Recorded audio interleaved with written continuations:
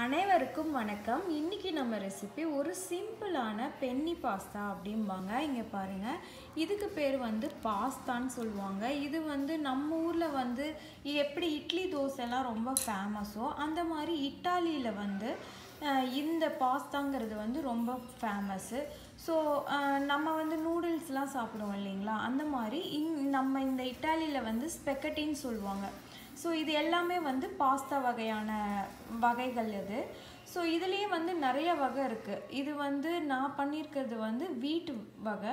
So இதுலேயே நீங்கள் பார்த்துக்கிட்டிங்கன்னா ட்ரை கலர்னு ஒன்று இருக்குது அப்புறம் வந்துட்டு சுரில்லுன்னு ஒன்று இருக்குது அப்புறம் நான் சொன்ன மாதிரி ஸ்பெக்கட்டின்னு இருக்குது ஸோ இந்த மாதிரி நிறையா இருக்குது ஸோ இப்போ இதில் சிம்பிளாக நம்ம இது குழந்தைங்களுக்கு ரொம்ப பிடிக்கும். இதை அதில் நீங்கள் கரெக்டாக சூஸ் பண்ணிக்கிங்க. ஸோ நான் வீட்டு பிடிக்குங்கனால வீட்டு தான் சூஸ் பண்ணியிருக்கேன். பெண்ணின்னு சொல்லுவாங்க. இது வந்து நான் வந்து தண்ணி ஊற்றி ஒரு ஒரு ஒரு கப்பு ஒன்றரை கப்பு எடுத்திருக்கேன்.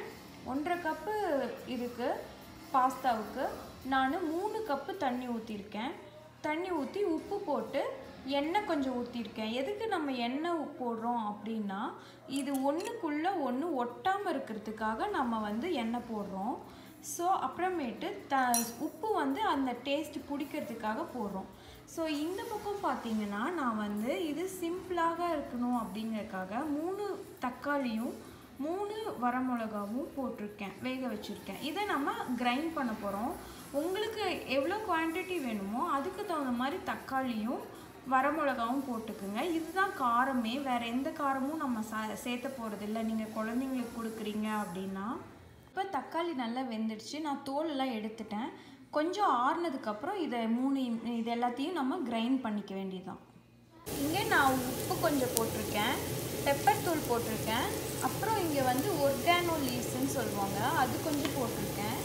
அப்புறம் கொஞ்சமாக நம்ம மிக்ஸ்டு ஹர்ப்ஸ் போட்டுக்கலாம். அவ்வளோதான் இப்போ நான் அரைச்ச அந்த தக்காளி பேஸ்ட்டை ஊற்றிக்கிட்டேன் இது நல்லா வேகட்டும். நான் கொஞ்சமாக கெச்சப் ஆட் பண்ணியிருக்கேன். உங்ககிட்ட இல்லைன்னா பரவாயில்ல. இது டேஸ்ட்டுக்கு தான். இங்கே பாருங்கள் பேஸ்ட் வந்து எவ்வளோ திக்காக ஆகுதுன்ட்டு இங்கே பாருங்கள் உங்களுக்கு பார்த்தாலே தெரியும். ஸோ இன்னும் கொஞ்சம் திக்கானதுக்கப்புறம் நம்ம பாஸ்தாவை ஆட் பண்ணிக்கலாம்.